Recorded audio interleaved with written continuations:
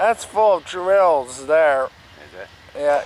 Norfolk. You should get a picture of this. This is pretty neat. Seven nine point They eight. fixed these one right there. in the Track one. No defects. They must be fixing that gate.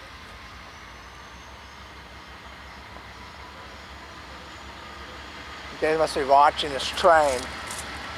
Because uh, this is uh, this is that one that broke in half at Murph Yeah.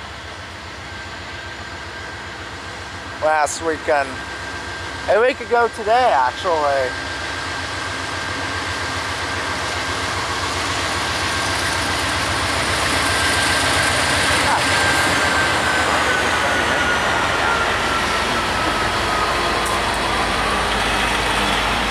That makes no sense.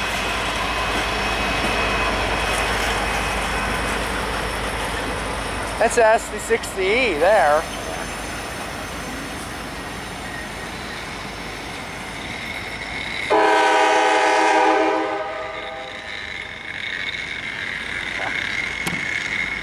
That's all brand new track. I don't think I should have taken those guys that long to empty those cars out.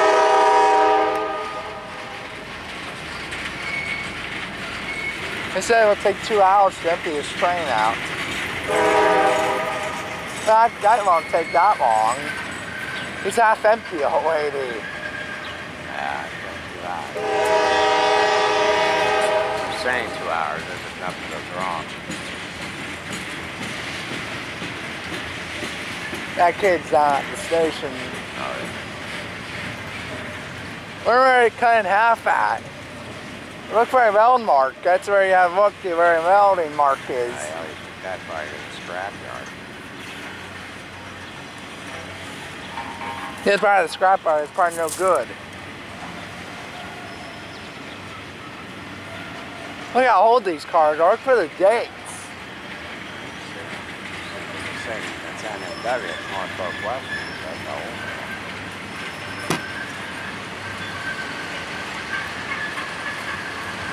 Oh, they got a piece of track already ready. Look. Look, it's all, uh, huh?